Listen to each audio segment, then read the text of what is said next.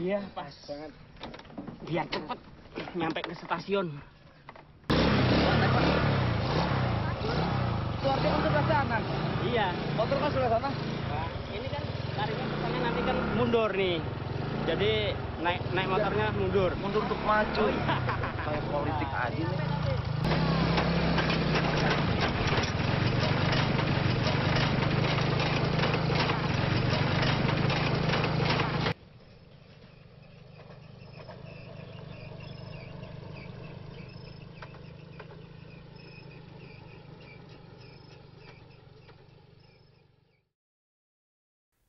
I'm Nathan Casalino for Grolsch Filmworks, and we're here with Leonard Retel Helmrich, director of Position Among the Stars, which is now screening at the San Francisco International Film Festival.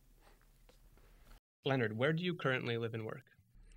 Uh, I live and work actually between two countries, Indonesia and the Netherlands, because my subject is in Indonesia. That's where I film, and the Netherlands is where the production office is and where I do the post production also. How do you feel independent cinema differs in the Netherlands from other countries you've worked in?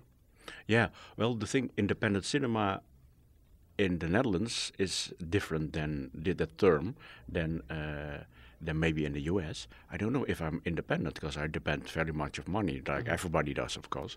As long as you have your, you can choose your own format, your own style, then you could say it's independent film. And I think everybody should try to find his own style and make films from their own point of view. Stories seem easier to tell when the story is part of the life that you're living. How did you feel you became a part of the situation and reality there while you were shooting Position Among the Stars? Well, of course, I had to to to yeah, put a lot of um, effort in it in order to become part of their life. I know that sometimes when you're part of a scene of a, of a world, you can have influence of it. But I don't want to show my presence in the film itself, as long as it hasn't does, doesn't have a real dramatical meaning. in the end, there's a scene with the two old women talking uh, about money, and one tells the other possessions take possession of you. How long are ideas like that influential on you in your personal life? I found it so.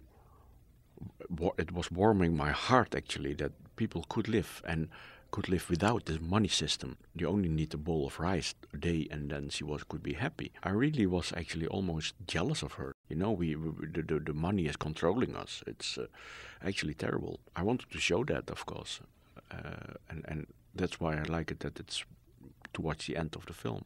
How did you get into independent film um, in the beginning?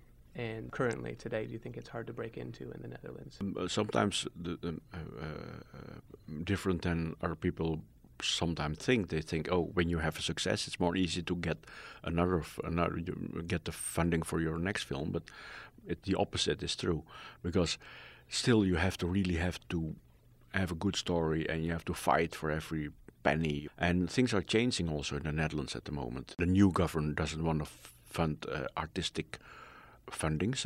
Everything in, in art, they want to cut it down. So it will become more hard in, in the future. What tips do you have for aspiring Dutch directors and filmmakers?